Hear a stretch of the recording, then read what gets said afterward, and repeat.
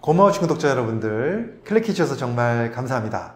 오늘은 제가 반려동물을 기르는 반려인들이 과연 건강 상태에 어떤 영향을 받을 것인가에 대한 말씀을 좀 드려보려고 합니다. 관련된 연구 자료 간단하게 소개해 드리고요.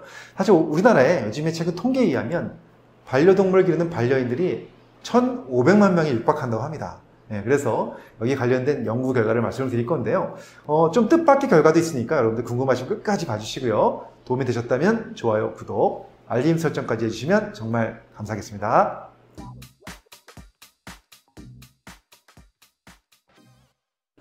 안녕하세요. 교육을 전공한 교육하는 의사, 가정의학과 전문의 이동환입니다.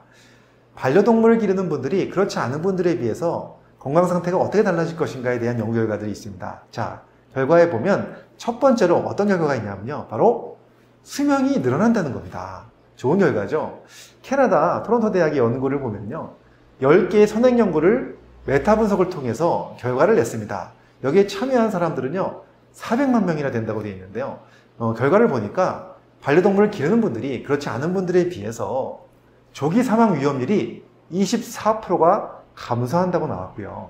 특히나 심장병이나 뇌졸중 병력을 갖고 있는 경우에는요. 심혈관계 사망 위험률이 31%까지 감소하는 것으로 나왔습니다.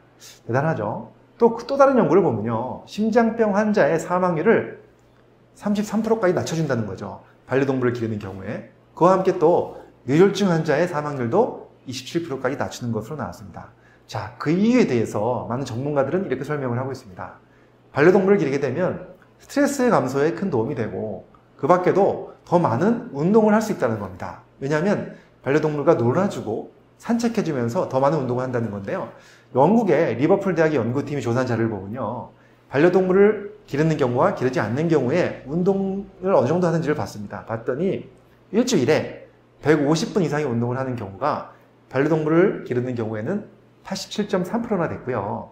반려동물을 기르지 않는 경우는 62.7%밖에 되지 않았다는 것이죠. 확실하게 반려동물을 기르는 분들이 훨씬 더 운동량이 많았다는 것을 보여주고 있습니다. 아마 그래서 이렇게 어, 조기 사망률이 감소되지 않았나 하는 생각이 듭니다. 자, 그 다음에 반려동물을 기르는 분들이 건강 상태에 어떤 영향을 주는가에 대한 것 중에서 두 번째는 바로 면역력에 좋은 영향을 미친다는 겁니다. 2012년도 핀란드의 유아를 대상으로 한 연구에서 이런 결과가 나왔습니다. 아이들 대상으로 조사해 보니까 반려동물을 기르는 아이들이 그렇지 않은 애들에 비해서 기침이라든가 비염이라든가 호흡기 질환에 걸릴 위험이 30% 감소했고요. 또 중이염 같은 귀병에 걸릴 확률도 50%가 감소한 것으로 나왔습니다. 굉장히 뜻밖이지 않습니까? 보통 우리는 동물의 털 때문에 알러지가 잘 생기고 그것 때문에 또 호흡 질환이 잘 생길 거라고 생각을 하는데 반대 결과가 나왔죠. 자, 그 다음에 또 다른 연구를 보면요. 캐나다에서 엘버타 대학교 그 연구팀에 보면 소아과 연구였는데요. 아기들 대상으로요. 약 746명의 아기들 대변을 분석했습니다. 그리고 나서 이분들, 이 아기들의 장내 세균의 상태를 봤더니 재밌는 것은요.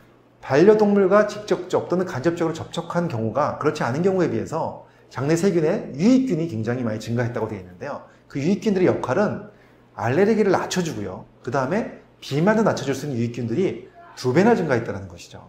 여기서 반려동물과 직접적, 간접적 접촉을 했다는 뜻은 무슨 뜻이냐면 그 아이가 태어나면서부터 반려동물과 함께 지낸 것은 직접적 접촉이고요. 그 다음에 엄마가 산모인 경우에 산모일 때 반려동물을 기렀던 것도 어, 간접적 접촉으로 봤습니다. 그런 경우에도 영향을 줬다는 것이죠. 좀 결과가 뜻밖입니다. 우리는 보통 이러한 그 알러지가 이런 동물 털에 생길 수도 있기 때문에 안 좋다고 생각을 했는데 반대의 경우가 나왔죠. 왜 그럴까요?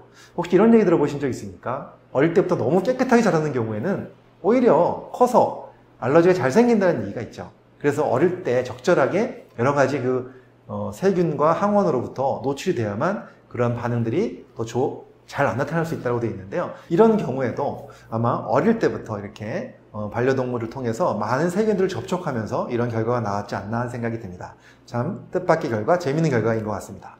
자, 그 다음에 세 번째는요. 여러분들 다 아시는 것처럼 바로 우울증 예방에 큰 도움이 됐습니다. 미국 노인병 학회에서 연구한 자료를 보면요. 노인들 대상으로 연구한 결과 반려동물이 있는 경우가 없는 경우에 비해서 우울증이 확실하게 더 감소했고요. 그뿐 아니라 치매 예방에도 도움이 됐다는 연구가 있습니다. 그리고 또 학생들을 대상으로 한 연구를 보면요. 약 10분간 이 반려동물과 교감을 했을 경우에 스트레스 호르몬 중에서 가장 대표적인 코르티솔 호르몬이 아주 현저하게 감소된 것을 확인할 수가 있었습니다. 자, 지금까지 말씀드린 내용을 보면요. 그렇죠. 반려동물이 우리한테 굉장히 많은 좋은 영향을 줍니다. 첫 번째, 수명이 늘어나죠. 운동을 통해서. 그 다음에 또 두 번째로는 면역력에 좋은 영향을 미치고요. 그 다음에 세 번째로는 바로 심리적으로 좋은 영향까지 미친다라고 보여줄 수가 있습니다. 자, 오늘은 제가 반려동물을 기르는 경우에 우리 건강 상태가 더 좋아질 수 있다는 말씀을 드렸습니다. 정말 많은 분들이 어, 요즘에 반려동물을 기르고 계신데요. 어, 소중한 반려동물, 가족이죠, 이제는. 네, 함께 건강하시고 행복한 생활 되셨으면 좋겠습니다. 감사합니다.